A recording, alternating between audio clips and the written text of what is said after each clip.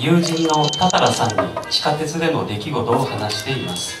でその外国人が私の隣に座ったんだけれど、うん、傘を忘れててね。あらら。もう私英語が喋れんから、ね、あーって言ってる間にシャードアが閉まってまってそんな時英語でなんて言ったらいいのかねえー、英語で、うん、えでもなんで英語なの？だって英語が通じない人もいるよ。えー、でも外国人って言ったら英語でしょ。ううん。何でもいいから声をかけてあげればいいんじゃないの？ほうや。ほうだわ。